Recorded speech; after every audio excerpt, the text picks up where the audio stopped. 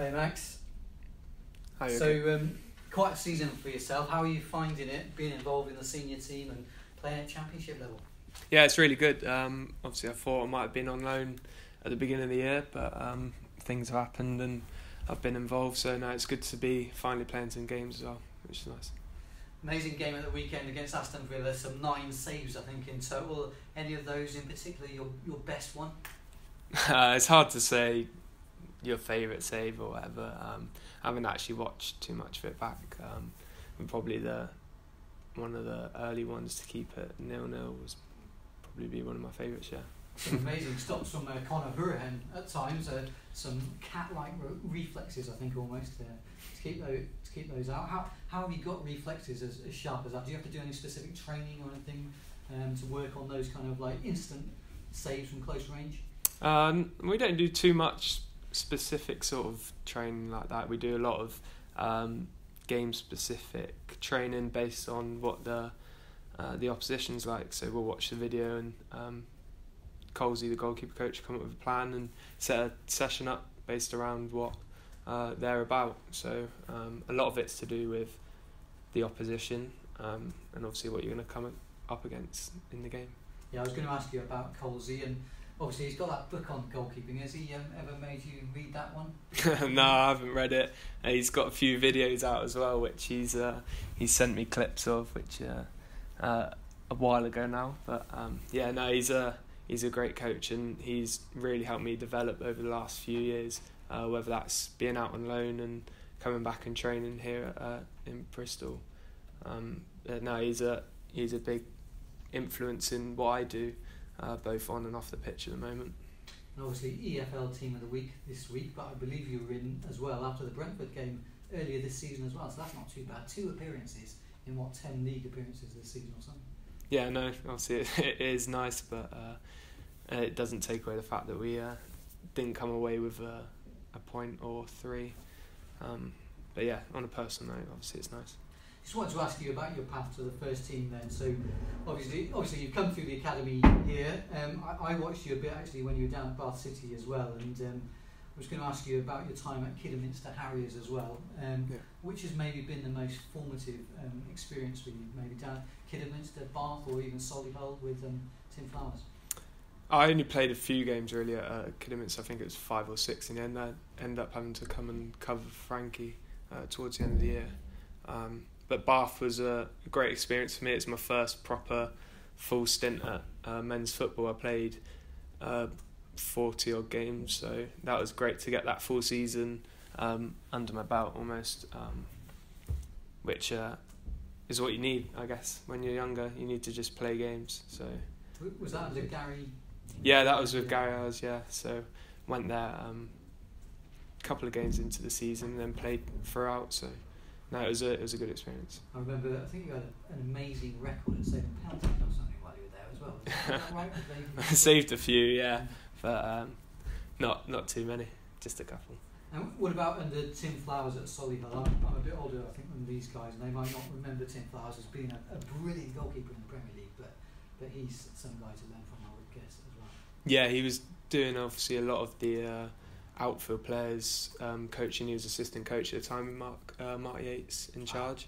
Um, but he did take he did take training and stuff with us um, a bit, which was no, he was a great person to draw experience from, and obviously you know he's been there and done it. Um, so to get his opinion or advice was um, second to none for me, really. And did, didn't he text you or something before the Brentford game? Is that right? To offer you good luck or something? Yeah, no, he did text me. Yeah, um, Gary did as well. Gary Ellis. So it was nice for those two to to give me a text. Nice one. And just on uh, your current head coach, then Lee Johnson, when I've sort of mentioned him about goalkeepers, he sort of said that he's looking for a spiritual leader as a goalkeeper. Has he mentioned Adriano Basso and the likes of that to you at all?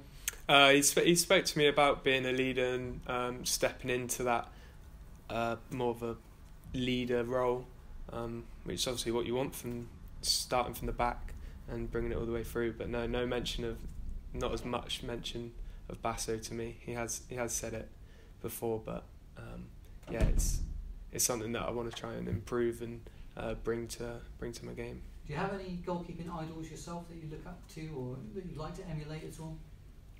Um, not not the current current time, but like when I was growing up, obviously you had the likes of Petr Cech was in the uh, at the top of his game. Um, people like Pepe Reina, even like Barthez. I was uh, a Man United fan when I was younger, so he was one of those. He was a bit of a he was a bit different to everyone else and did stuff which you didn't really see. Um, but that sort of era was my uh, goalkeepers that I grew up with, um, the Petr Cechs, um, Reina and people like that. So those, those are two. Just uh, finally, there's there's a quite good competition, I guess, there at the moment. Obviously, with Nicky and, and Frank when they're fit, and yourself. Yeah, no, it's uh, it was it's always competitive in a goalkeeping environment. You work with each other every day for um, in quite an isolated sort of area. So it is good to have competition. It's healthy for every um, position, really. Uh, I've grown grown up with Jojo in the same age group uh, for the last since we were probably fourteen. So I've always had that rivalry with him, that competition. But we're good mates and we get on really well. So it's healthy to have that competition. It makes you want to get better. Great stuff, and good luck for Friday. Cheers, thank you. Hi Max. Hi, um, just wanted to ask you, there's rumours today that you're going to be nominated for the Ballon d'Or at the end of the year. Um, aside from those amazing personal uh, achievements, uh, is the main aim for you now, for next season, staking your claim to be that number one position? Of course, I want to. I want to play for this football club. I want to play as many games as I can. But at the moment, I'm just focused on doing what I do every week, weekend, weekday, whatever it is, um, in those games. And we've got five games remaining now um, until the end of the season. So that's just my main goal is trying to help the team. Yeah, as you say, five games to go. I think there's about three teams going for one, possibly fifth, but more likely sixth in the in the championship. Um, how are you guys dealing with that pressure with just like you say five games to go? There's not too much pressure really. I don't think on us. We've um, we've got ourselves into a great position, and the least we can do is just go for it. So we're everyone's level headed. Like there's not too much talk about it really. We're just trying to win every game. You go into every game trying to win it, and whatever happens, happens. And just finally, I know we briefly mentioned David Coles there. I just want to go back to him as well and sort of the, the techniques that he's teaching you. He's a, he's a great coach, isn't he? And he's developed three fantastic goalkeepers for City this season. Yeah, no, he's. Uh, I've I've had him now for a few years, so obviously I get on really well with him and have taken a lot from him um, being my coach. There's uh, we're all different in the in the way that we work. I work differently to Frank. Frank works differently to Nikki, and we're all good in our own different ways. So um, he does that really well. He can pick out and see what people need for each situation. So um, it is. Uh, it's obviously tricky. You've got three diff- completely different goalkeepers, but he uh, he manages us really well and coaches as well.